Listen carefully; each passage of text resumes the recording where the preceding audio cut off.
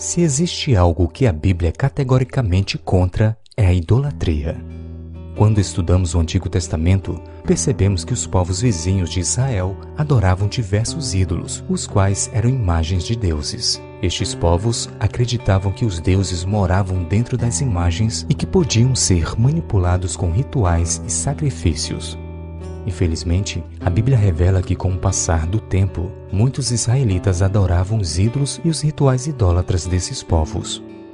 Porém, este tipo de idolatria reduzia a divindade a um pedaço de matéria que poderia ser manipulado pelo adorador humano.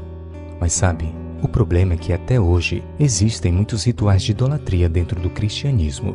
Sim, Ainda em nossos dias, é possível encontrar muitos indivíduos que se curvam diante de estátuas, oram para imagens e se adoram criações feitas por mãos humanas. Apesar de todo o respeito que eu tenho por essas pessoas, eu preciso dizer que, à luz da Bíblia, tal atitude é idolátrica. E sabe, o maior mal que ela faz é desviar a atenção do adorador que deveria buscar ao Deus Criador, porém se curva diante de criações humanas.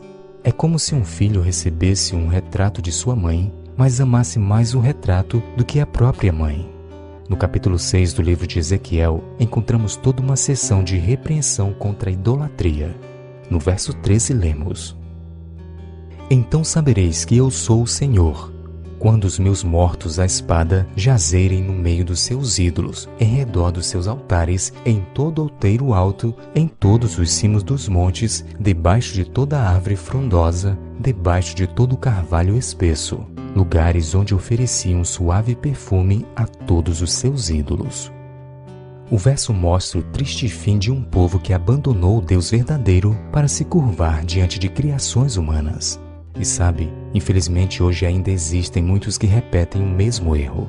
Além dos ídolos físicos presentes em muitas igrejas, ainda existem os ídolos modernos, como dinheiro, fama e poder. Independente do tipo de Deus que o idólatra adore, o resultado sempre é o mesmo: desviar o olhar do Deus Criador para se apegar a construções humanas. Então, hoje se pergunte: tem algo na sua vida que é mais importante do que Deus?